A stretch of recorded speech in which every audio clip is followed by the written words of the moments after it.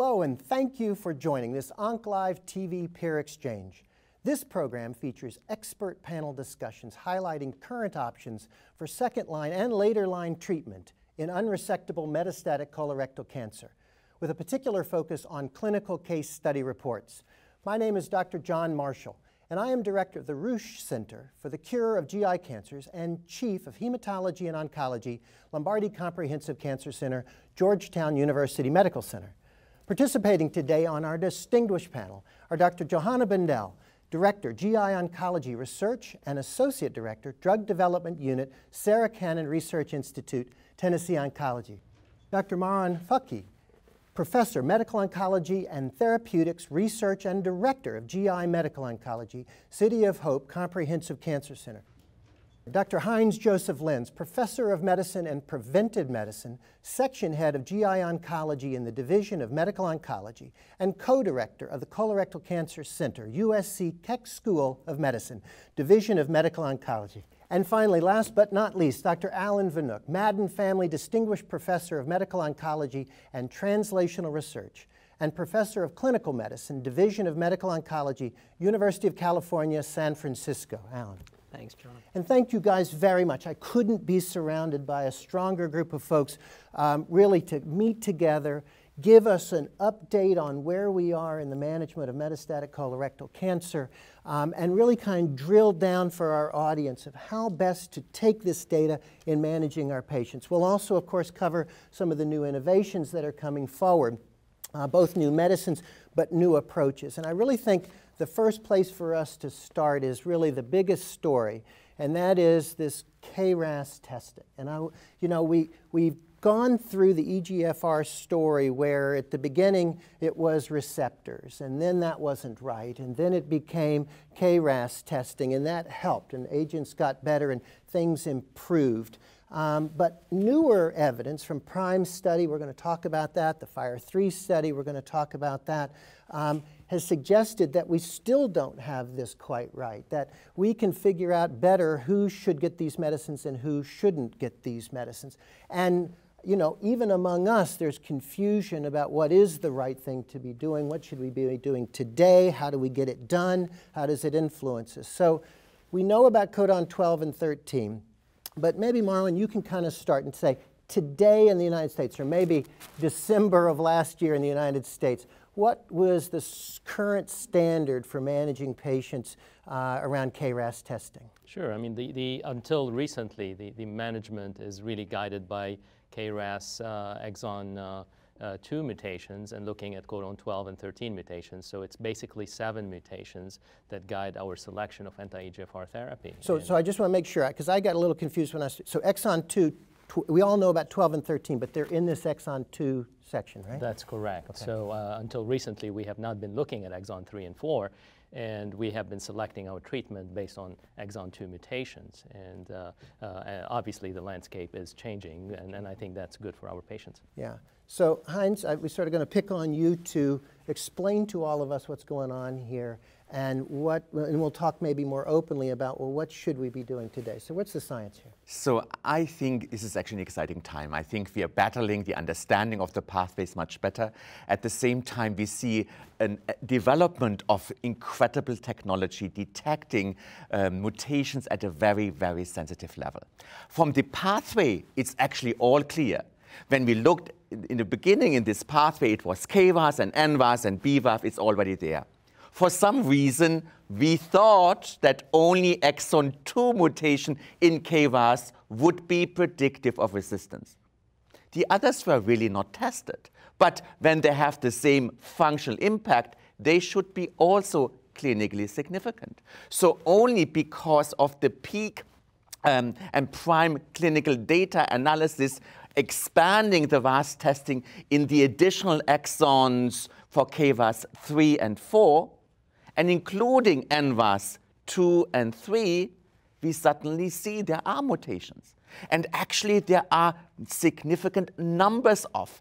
In the previous thought wild type exon 2 patient population, we find 15 to 20% additional mutation. And I think the clinical data we have seen in all these clinical trials, uh, doesn't matter if it's cetuximab or panitumumab, that these act like the mutations we are used to test. So I think we will be in a better position to select patients who have more benefit and the patients who don't.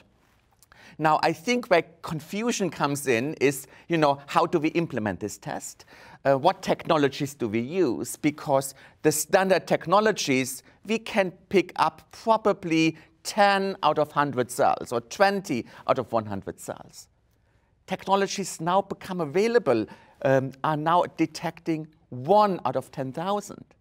Now, the big clinical question is, is that the same clinically meaningful mutation data or not?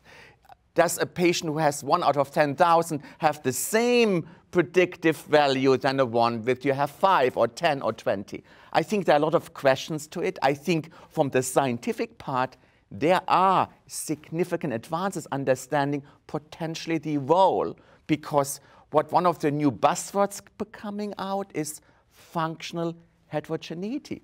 So when you find one mutation does not mean that is not meaningful for a really bunch of environmental cancer cells around it. So I think I'm very excited. I think we need to be just very clear in order to implement that in our daily practices. And there is a disconnect what science can do and how we should react in the clinical practice. So do I really care? Why don't I just try this medicine? If you can't even tell me whether the mutation matters or not, right? You've made a lot of uh, talk about this, but why don't I just throw the drug, Johanna? Why don't I just try the drug in these patients? Any harm here? Yeah, and so this is, this is where it comes down to. When I first heard this data, I said, what am I going to say to my physicians in the community who are mm. treating all different types of cancers? How do I make it simple to let them know what to do? And the way that I looked at it is I said, you know what, guys? We know what KRAS mutations are. Now we're finding more people have different ways to mutate a KRAS, including NRAS. And what we need to do is we need to do expanded testing to define who is and who isn't a KRAS mutation patient. And so right now, what I would take home for this, what I would take home from this in terms of how do you practically implement it, is that in my, in my practice, what I've been encouraging physicians to do within our centers is to go ahead and do and order the expanded KRAS testing.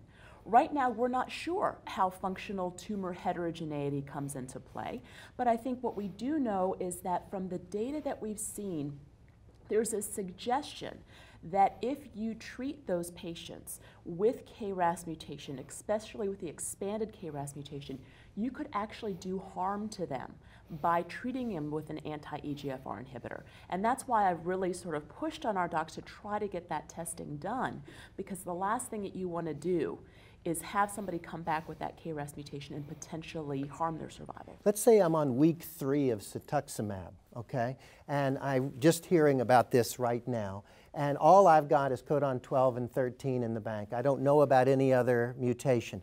Do I stop that patient and wait and retest? What do you think? That's one of the hardest questions. it is one of the hardest questions. But I will tell you, as Heinz suggested, it's about 20% more patients that are going to have those additional mutations. And so, depending, now you, you have to look at the clinical scenario, depending on where you're using it, what you're using it with, do you have a treatment you can keep them on while you hold the cetuximab? I probably would say go ahead and Yeah, I think you should. Test it. Yeah, particularly when you, you look at patient, absolutely right? because when you look at the data, particularly when you combine an EGF receptor inhibitor with Folfox, these patients are actually harmed. So I think you are obligated to make sure the biggest efforts to get this test done. I think one of the challenges right now in the community is do we have tests available where we can send the samples? Because uh, in Europe, it's already mandated. You cannot give an EGF receptor antibody at all if the expanded RAS testing is not done. It will come here too. I think the, the maybe the uh, different organization of laboratory testing in different countries makes it sometimes more easier or more difficult. We have a lot of laboratories who, who are starting to offer that, so I think we should implement as soon as possible. Yeah, so they're sort of the European Union quick embracers of this, even though they don't have a very clear test and way to, to measure that, right? But because of the harm. Yeah. You know, I think the, than it was driven by not harming patients, not by the efficacy, but harming. And I but think we in the U.S. are sort of entrepreneurial, and, and so we'll risk the harm harm? We have more diversity, I think, and that I think is the challenge. What Alan yeah. mentioned, because yeah. what do we do when? Because when you get a test, We don't know the mutation fraction. So I think we complicate it because we have patients coming from Foundation Medicine to very quest laboratories where you just have two uh, mutation tested. So I think we have a lot of uh, spectrum of different possibilities, but I think we need to do the right thing for our patients. Yeah. So, um, Alan, let me.